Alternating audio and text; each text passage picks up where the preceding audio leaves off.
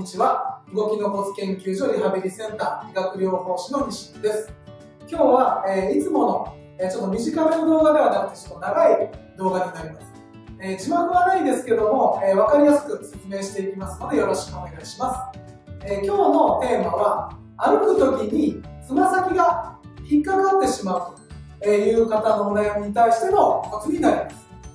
であの皆様歩く時にどうしてもつま先が引っかかってしまうで頑張ってつま先をこう上げよう上げよう歩く時に、えー、しておられると思うんですけどもなかなか上がらない方たくさんいらっしゃると思うんですけどもこれは足首を上げる力が弱いからっていうわけではない可能性があります、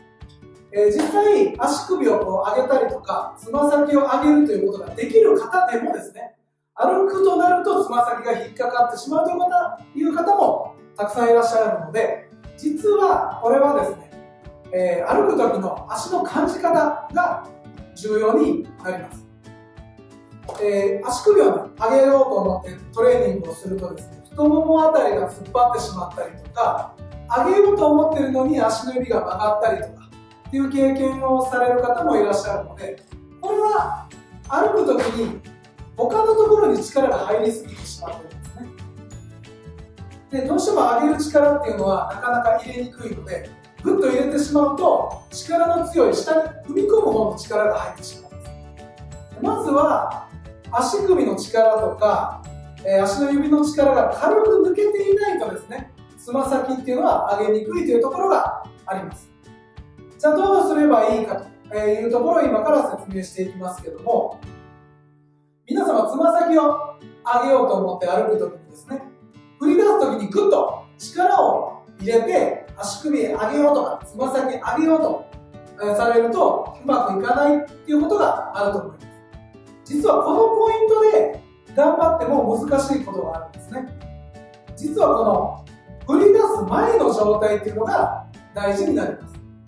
じゃあ振り出す前、えどういうことかと言いますと、え、まずちょっと手すりを持って安全第一でやっていただきたいんですけども、右側の足、体重乗せて、いい方の足、前に出します。この後、いい方の足に体重を乗せた時の、右側の足、どうなってるかチェックしてみてください。なかなかつま先がこう上がりにくいなという方は、この右足に体重を乗せた時に、右側の足がぐっと突っ張ってしまったりとか、力がぐっと入ってないでしょう。ここで力が入ってるとですね、振り出す時も足に力が入るので指が曲がったりとか、え、してしまうのでなかなかつま先が上がらないということがあります。なのでチェックしていただきたいのは、いい方の足を前に出していただいて、いい方の足に体重を乗せていきます。この時、麻痺側の足はまず力が抜けているかどうかチェックしてみましょうここで力が抜けていることすごく重要になります。そして力が抜けているとですねえーと、かかとが自然とふわーっと浮いてですねこの指の付け根あたりが床にペタッとこうついてる状況になってると思います。これが力が入っている方はかかとがギュンと上がってしまって指がギュッと曲がってることがありますので、感じていただきたいのは、いい方の足を出して、体重移動するときに、左の足がですね、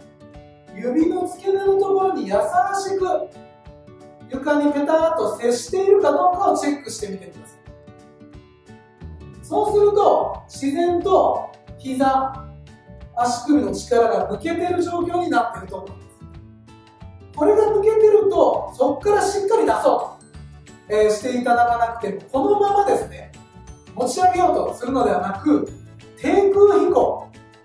床すれすれぐらいで構いませんので、スーッと前に出していただくと、意外とですね、つま先引っかからずに、ふわっと前に出せることがよくあります。皆様やっぱり頑張って出そうとすると、どうしても力が入って指が曲がったりとか、つま先が引っかかったりしやすいことがあるので、逆にちょっと抜いていきましょう。抜くためには、出す時よりも、その手前ですね。体重が乗って、いい方の足が前に出て、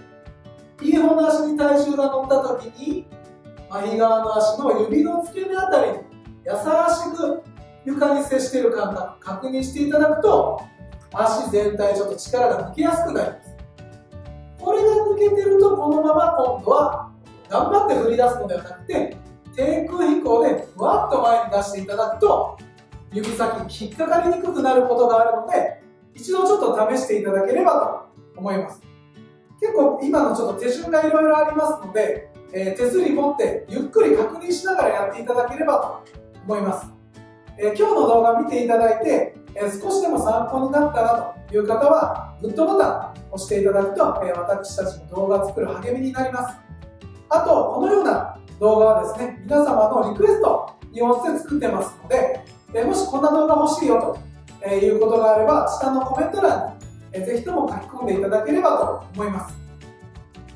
今日の動画、えー、と長いんですけども、えゆっくりやっていただいて、え成果出ればすごくいいんですけども、もしちょっとうまくいかないなっていう方は、え、ホームページからあの個別にお問い合わせいただければ、あのメールで返信したりとか、お電話でも説明させていただきますので、えー、ぜひとも活用していただければと思います。それでは今日はありがとうございました。